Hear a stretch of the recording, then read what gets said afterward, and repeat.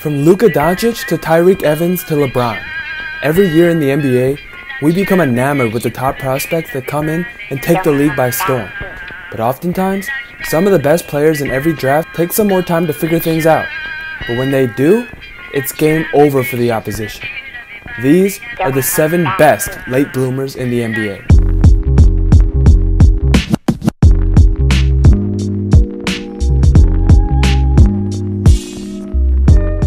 So when I sat down to think about these rankings, I didn't really follow any scoring system super closely, but I did make sure that every player on the list qualified under two criteria. Number one, every player had to have at least one season scoring under 10 points a game to start their career. In general, I feel like any rookie that can put up over 10 points a game must have had at least a decent season. Obviously, success varies based on that player's expectations, but there were more than enough guys that met this criteria that I didn't have to think about that sort of thing. And number two, every player had to have made an all star team at some point in their career. This one's pretty self explanatory. Looking at all star appearances is probably the most straightforward way to distinguish the best from the rest. Alright, without further ado, let's start at number 7, the Nutcracker himself, Draymond Green. Of all the players on this list, Draymond maybe had the slowest start of all and if not, he's for sure top two or three. As a late round guy without a clear NBA position early on, Draymond struggled to find minutes in his first couple seasons. The man got no tick, averaging just 13 minutes a game in his rookie year and then 21 in his second. And even when he did get on the court, he wasn't exactly getting the crowd on their feet. He put up 3 and 6 points a game respectively in those two seasons, while shooting under 40% from the field and under 30 from deep. Yikes. Year 3, though, was where he turned things around. Suddenly starting every game of the season while putting up 12, 8, and 4 and playing a key role in the Dubs' first chip in 40 years. In the time since then, he's only kept it rolling, rising to become the vocal leader of arguably the best team of all time, while cementing himself as one of the league's best and most versatile defenders. On the way, he's earned three All Star nods, four All Defensive Team honors, and two All NBA appearances along with winning three rings and a Defensive Player of the Year award. Yeah, that's pretty damn good. Love him or hate him, there's no doubt that Draymond is one of the league's best success stories. An average bench warmer that came out of nowhere to become a star in the league. The only thing holding him back from being higher on this list is that, even at his peak, he's never really been considered a superstar. Never putting up more than 15 points a game in any season, and only ever being the third or fourth best player on his team throughout his career. Now, I'm not faulting him for that. I mean, look at the guys he's playing with. But it's just that he's facing tough competition on this list, especially the guy at number six, and that's James Harden.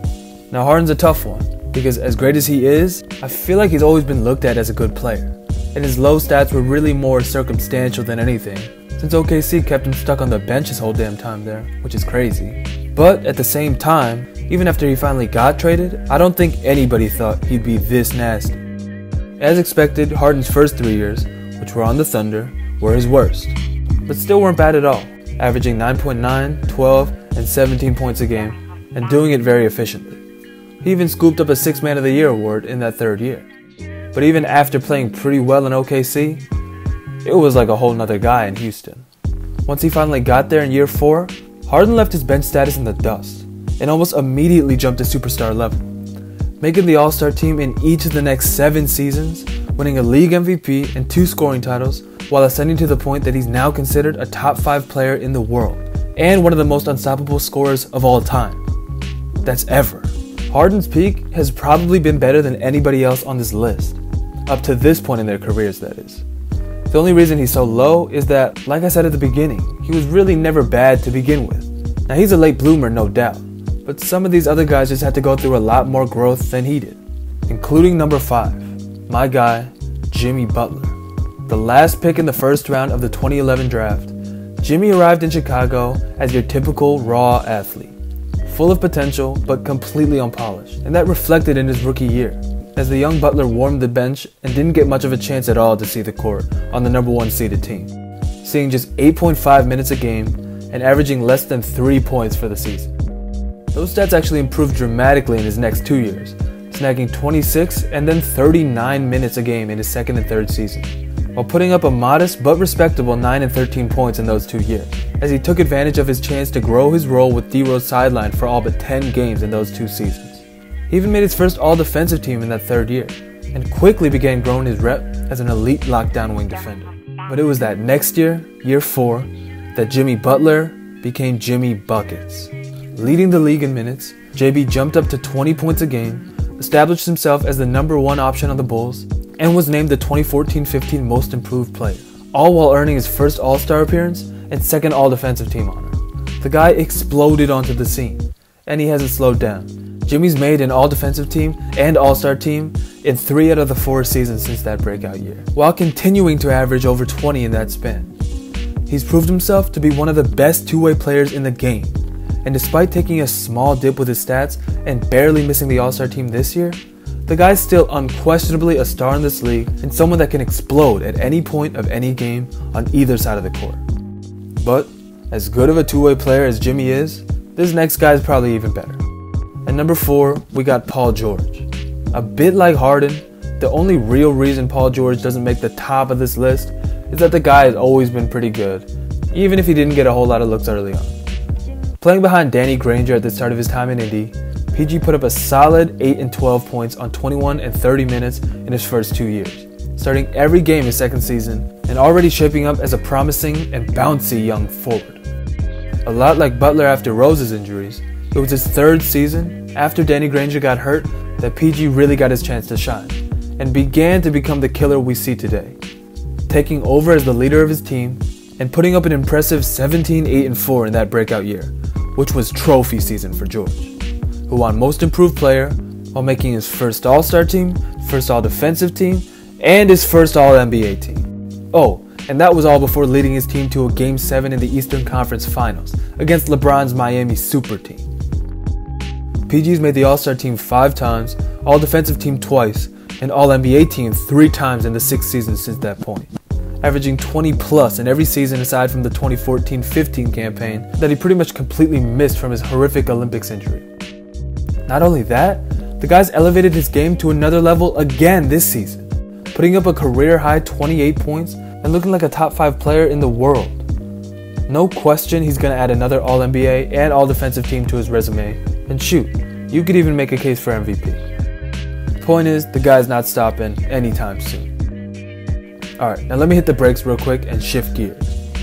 This next guy might not be as hype as the others, and he's definitely not near the most talented on this list but he's had one of the biggest and most unexpected rises of any NBA player in the game, and 100% deserves a spot on this list. I'm talking Kyle Lowry at number 3. Now you may be questioning this decision. Kyle Lowry? Over Paul George? Over James Harden? Yes. And to explain myself, all I feel like I really have to do is tell you this crazy stat. Lowry had to play four seasons before averaging more than 10 points a game, and eight seasons before making his first All Star team. Absolutely absurd. So let's start at the beginning.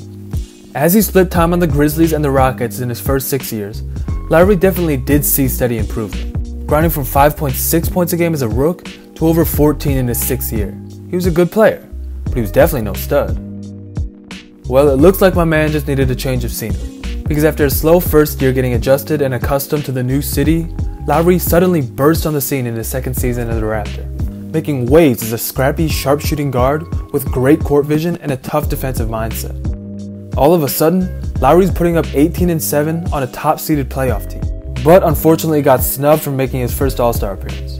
It only took another year though for people to realize just how good the guy was, as he's made the All-Star team in each of the 5 seasons since, and an All-NBA team in 2016. No, he's not the best player on this list, but Kyle Lowry is the epitome of a successful late bloomer, showing the world that they should never stop grinding because you can never be too old to improve. Alright, now that we're winding down, I just gotta say that these last two were easily the hardest to rank because they both have amazing cases for the top spot. In the end, though, I had to give Kawhi second place. Just like most of the other guys on this list, Kawhi came in as a raw athletic prospect and didn't put up the biggest numbers. But in spite of that, he undoubtedly found a way to immediately contribute to his team, something that can't be said about most of the other guys on this list starting almost every game of his rookie and sophomore seasons on a very good Spurs team led by legends Tim Duncan, Tony Parker, and Manu Ginobili, while putting up a solid 8 and 12 points a game in those two seasons. The next year was more of the same, as Leonard put up 13 a game and continued to be the team's 3 and D guy. Oh, except for the fact that the guy made second team all defense and was named finals MVP in just his third freaking season. This is the main reason it was tough for me to put him at number 1. Because dude's pretty much been balling since day one, especially on the defensive end. But still, don't get it twisted. That definitely doesn't discount the insane improvement that he's made, which you can clearly see through his numbers. The year after winning Finals MVP, Kawhi jumped to 17 and 7, while casually making first team all defense and winning Defensive Player of the Year. No, he didn't make the All Star team, but the guy was already a star, and he wasn't even close to being done. The four years after that, he's made the All Star game in every season aside from the controversial 2017 18 season that he completely missed, jumping from 21 to 25 to 27 points a game, earning two more first team All Defensive honors, and winning a second Defensive Player of the Year award. The man's a beast, a top 10 player in the game, and the premier two way player in the league. Don't at me. And he became all that after starting his career as just a decent 3 and D guy. There's really only one man in the entire league that's a bigger freak than Kawhi, and that's number one, the Greek freak himself, Giannis. Unlike Kawhi, who quickly found a role to fill on his team, Giannis was a huge question mark. I mean, what do you do with a kid that was taller than the rest of your centers and skinnier than the rest of your point guards? It wasn't easy to figure out. There's a reason they call him the freak, right? Besides getting to avoid his long ass last name. And these questions are exactly why Giannis is number one. The guy is the definition of a late bloomer in every possible way. Not only has he drastically improved his basketball awareness and skill set, but he's literally grown 3 4 inches and put on 50 pounds of muscle since coming into the league. And you can see all that development in his stats. Coming off the bench in his rookie year, Giannis put up just 7 a game on 25 minutes, while shooting a rough 41% from the floor, and clearly looking like someone who had things he had to figure out. The crazy thing is, he did. Since then, the man's gotten noticeably better every single year.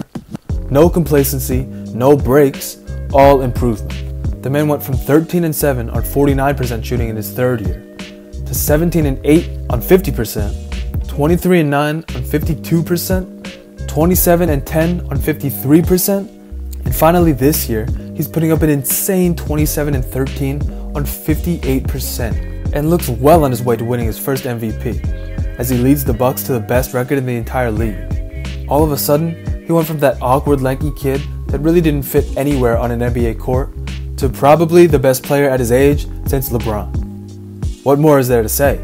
In his last three seasons, he's made all three All Star games, won the 2016 17 Most Improved Player, made an All Defensive team, and two All NBA teams. And, as I said, seems to be a couple months away from winning his first MVP award. But for all the players, it takes a special kind of person to persevere through adversity and do the things that other people said you couldn't. And pretty much everybody on this list did just that. That's all I got for this one. If you're new, slap that subscribe button. And let me know in the comments how you feel about this list. Did I leave somebody out? If you made it this far, I appreciate you. I'll catch you on the next one. I'm out. Peace.